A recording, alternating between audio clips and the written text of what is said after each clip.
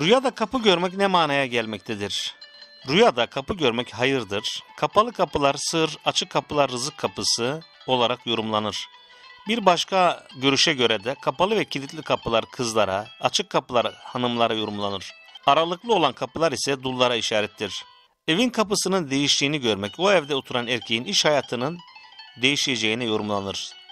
Danyal aleyhisselama göre kapı rüyada hanım ile tabir olunur. İster bilinsin ister bilinmesin kapıların açıldığını görmek rüya sahibine hayır ve nimete eğer kapılar yol üzerinde iseler bu iyiliğin çok çabuk olmasına işarettir.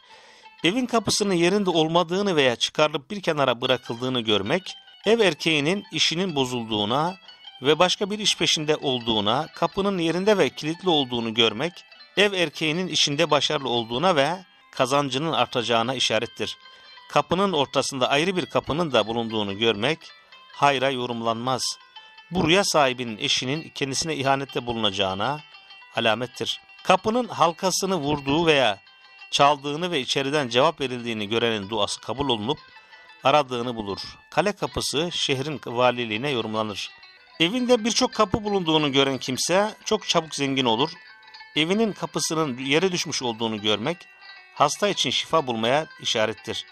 Kapısına bir eşik yaptırmak, evlenmeye, kapıyı açmaya çalışıp da bunda muvaffak olamamak sıkıntılı bir işe girip bundan hiç kar elde edememeye işarettir. Evin kapılarının lüzumundan fazlasını açık görmek evdeki monotonluğa ve işlerdeki bozukluğa işarettir. Rüyada kapı kilitlemek ise evinin kapısının kapandığını, yıkıldığını veya yandığını gören bir fırsatı elinden kaçırır. Rüyada beyaz kapı görmek ise aksayan işlerinizin bir çözüm yoluna gireceğine ve işlerinizde başarı sağlayacağınıza işarettir.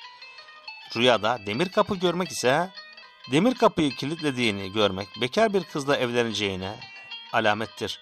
Rüyada demir sokak kapısını görmek geniş rızık elde etmeye işarettir. Rüyada kapının açılması, açılmak, kapanması da kapanmak olarak tabir edilir.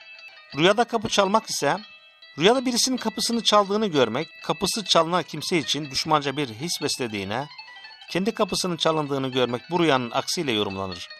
Rüyada kapı çalmak rüya sahibinin kapısı çalınan kimseye vereceği fitneye delalettir. Bazen de rüyada bir kapıyı çaldığını görmek dua etmek olarak da yorumlanmaktadır. Kapı açılırsa duası kabul edilmiş demektir. Rüyada kapı sesi veya gıcırtısı ne manaya gelmektedir? Rüyasında kapısını açıp kaparken gıcırdadığını görmek o ev içinde eşiyle yapacağı ağız kavgasına alamettir.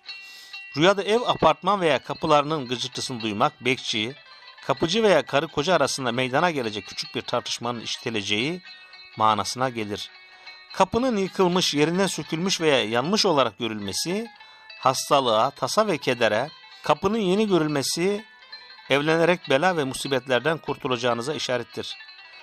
Kapı halkası ve tokmağı görmek ise, o ev içinde oturan insanların halleriyle yorumlanır, demirden halka ahlak sağlamlığına, tunçtan veya pirinçten halka refaha ve sağlığa delildir.